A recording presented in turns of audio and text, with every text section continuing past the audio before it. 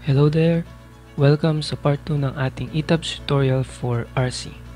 Today, ang gagawin natin ay magde-define tayo ng material properties and then section properties. So, wag na nating patagalan.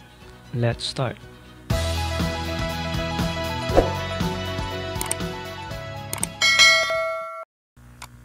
Okay, ito yung ating ginawa nung una sa ating part 1.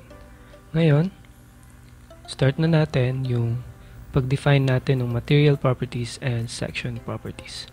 Una, click natin define, tapos punta tayo sa material properties, tapos mag-add tayo ng new material. Okay, kung mapapansin nyo pero may mga nandito na na naka-built-in. Okay, now um, we will add new material. Then, may lalabas na new window, add new material property. Gawin natin doon, uh, user. Tapos piliin natin concrete. Click OK. Okay, palitan natin ngayon yung material name. Okay, pag naglalagay tayo dyan, ang gagawin natin, lagay natin yung material property natin as the name. So, F prime C natin ay 20.7. Yan yung gagamitin natin. Na nandito sa ating property sa ating Excel. So, F prime C ay 20.7. That is 3,000 PSI. FY natin 275. FYS 275. Yung FY natin, yan yung gagamitin natin for main bars and for shear itong FYS. Okay, ngayon try lang muna natin na uh, grade 40 or FY275 yung gagamitin natin. So balik na tayo doon. Then FC natin 20.7. FY is 275. Lalagay din natin yan para hindi tayo mawawala mamaya. Okay, F, uh, FYS is 2 7, 5. Next, dito tayo sa material weight and mass. Specific weight tayo, 23.5. Then, modulus of elasticity, for concrete, papalitan natin yan.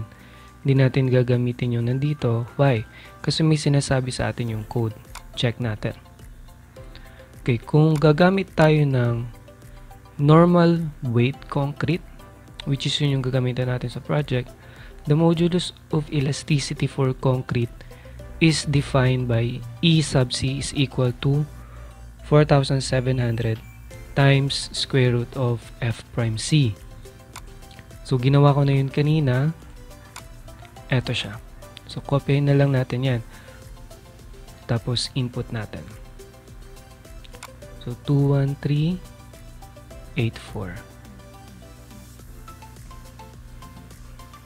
Okay. So, yung ibang property data, di na natin yan gagalawin. Then, let's go to design property data. Let's modify. Okay, makikita natin, meron tayong bagong window. This is the material property design data. Punta tayo sa baba papalitan natin yung specified strength. As the designer, ikaw yung magbibigay niyan. And dun sa ginagawa nating project, 20.7 yung gagamitin natin. Click OK. Then double check. Then let's click OK. So meron na tayo dito isang material. Okay, next kung mapapansin natin, meron tayo ditong ASTM 615 grade 60. Click natin yan. This is for rebar. Pero grade 60 yan or yung FY niyan ay 413. Since yung ating gagawin ay gagamitin ay 275, let's uh, make another property or another material property. So, click lang natin yan, add copy of material then let's rename 40 which is Fy niya ay 275. That is for our rebar. Okay. Now, uh, punta tayo dito sa modify. Uh, by the way, for the mechanical property data, yung modules of elasticity ang sabi ng code, permitted na gamitin natin ang 200,000. So, okay na yan. Then here, let's modify or show material property design data. Ngayon, dahil bago yung ating gagamitin, ang naka-register dito yung sa grade 60. So, papalitan natin. So, FY natin here is 275. Okay, FU natin is 500. Tapos, dito, mapapalitan yan. So, ang magiging value niyan sa FY, yung FYE natin, expected yield strength, uh, that is times 1.10. So, ano kaya yung value nun? Calculate natin.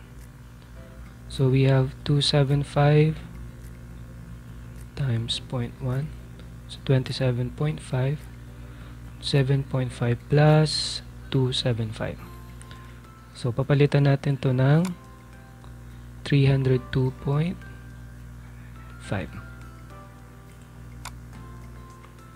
Next, yung expected tensile strength, papalitan din. Multiply natin ng 1.10. So, let's go back to the calculator. 500 times 0.1 so 50. So, our FUE is 550. Okay na. Let's click OK. Then, OK. So, may dalawa na tayo. May grade 40, may grade 60, and then our concrete. So, let's click OK. Okay, so ngayon, punta naman na tayo sa Part 2, Section Properties. Didefine natin yung mga sections natin. So, para gawin yon, let's go back to define. Then, section properties. Then, go to frame sections. Okay, pag lumabas yung window na to, ang gagawin natin dahil nga concrete yung ginagawa natin, palitan natin yung type, hanapin natin yung concrete, rectangular. So makikita natin dyan may dalawa nang nakalagay. Pero ang gagawin natin is mag-add tayo ng bagong property. so let's click add and then concrete rectangular click concrete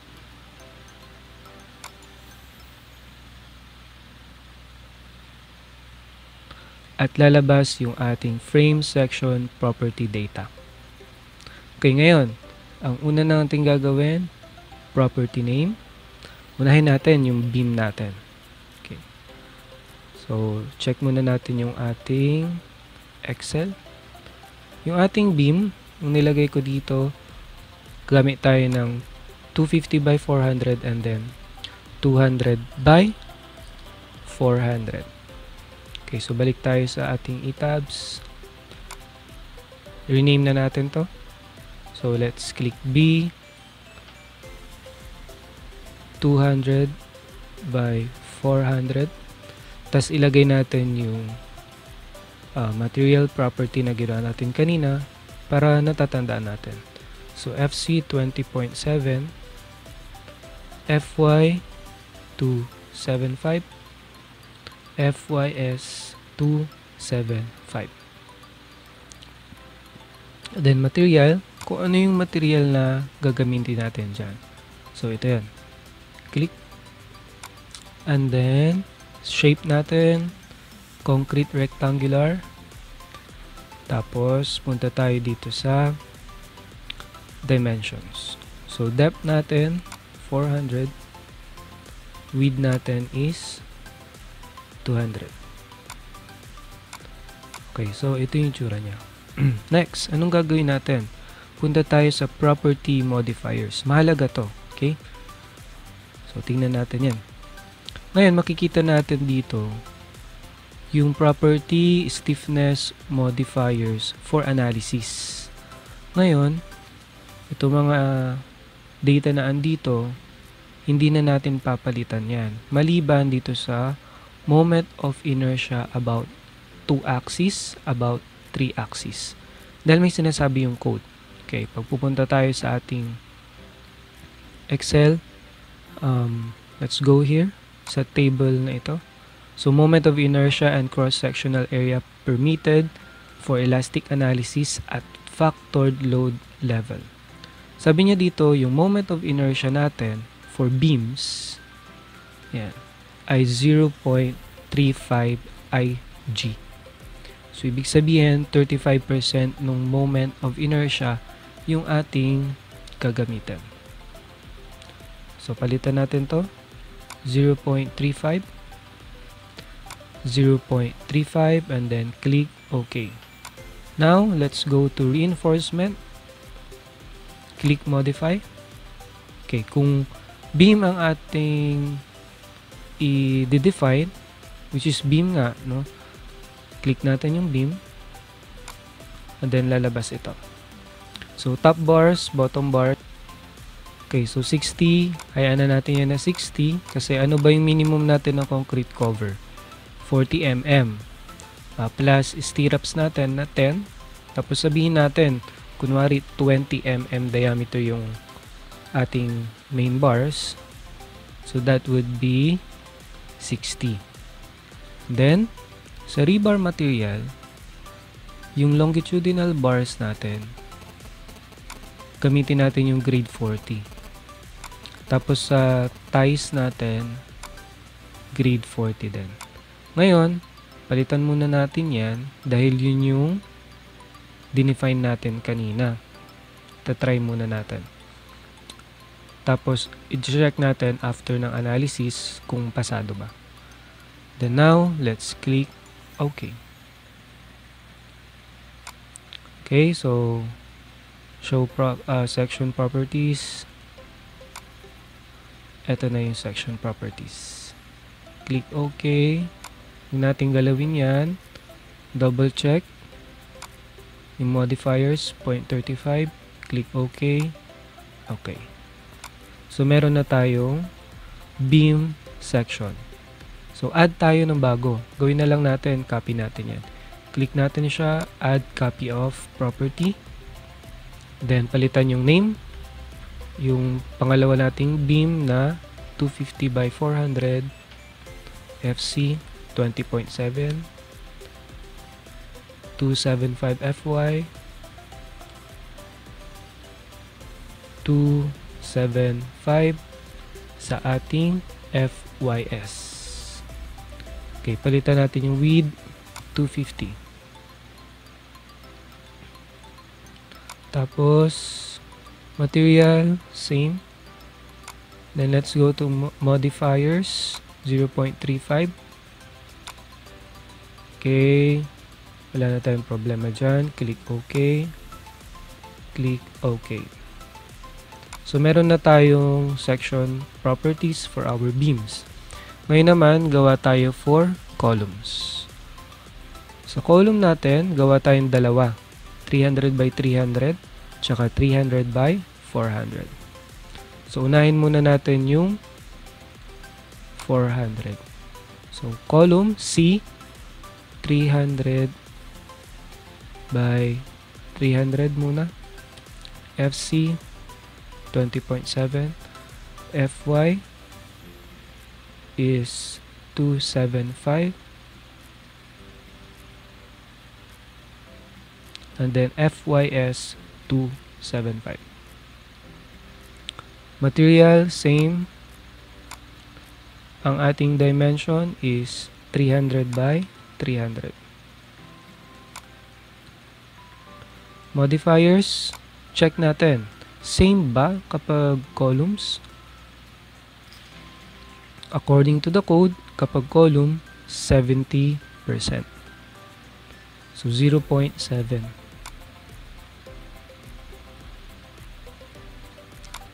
Pareho yan for axis about 2 and then sa 3 axis.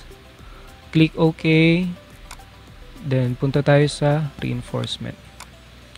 Ngayon, dahil column yung ginagawa natin, click column, reinforcement configuration, rectangular. Okay, hindi tayo circular. Confinement bars, ties. Next, check design. Okay, gano'n bang gagawin natin? Reinforcement to be checked or reinforcement to be designed? Ngayon, kapag pipili natin itong reinforcement to be checked, itong lahat ng to magkakaroon to ng uh, magkakaroon to ng effect sa analysis. So, ang gagawin natin, reinforcement to be designed. Kumbaga, tayo ang magbibigay ng number ng bakal later on. Dito tayo. And then, punta tayo dito sa ating rebar material. Same yan. Click OK. Next, uh, let's double check yung show modifier, ah, yung modifiers natin.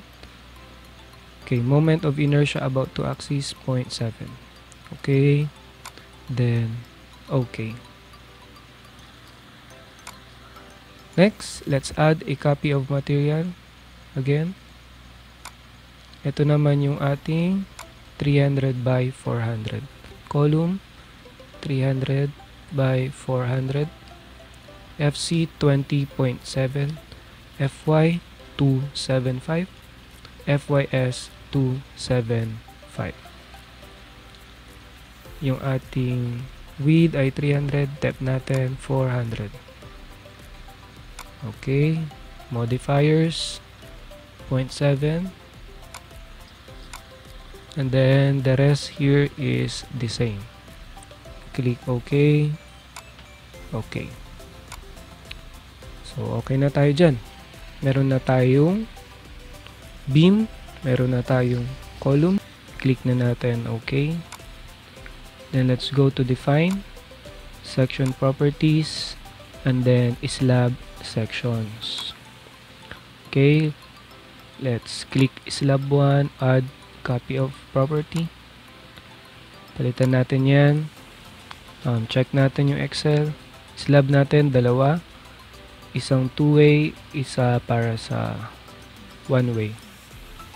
Okay, so S 100 for our two-way. Lagay natin yung properties.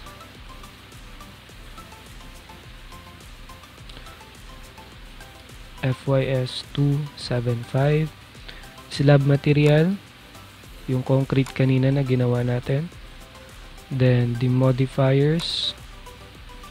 Ah, sorry dito tayo sa modeling type. Membrane. Then modifiers here. Ang papalitan natin dyan yung bending. Gawin natin 0.25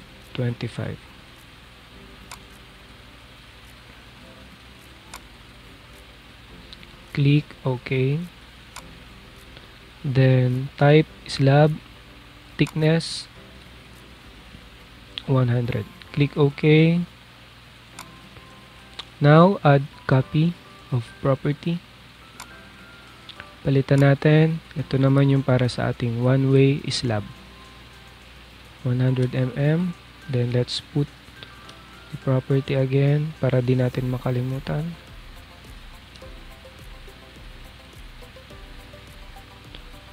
Slab material, same. Modeling type, membrane. Modifiers, 0.25 pa rin. Tapos, use special one-way load distribution. Click natin yan. Slab type. Then, thickness 100 din yung lumabas kanina. Then, wala na tayong problema. Click OK. So, meron na tayong dalawa. May slab. Hit OK.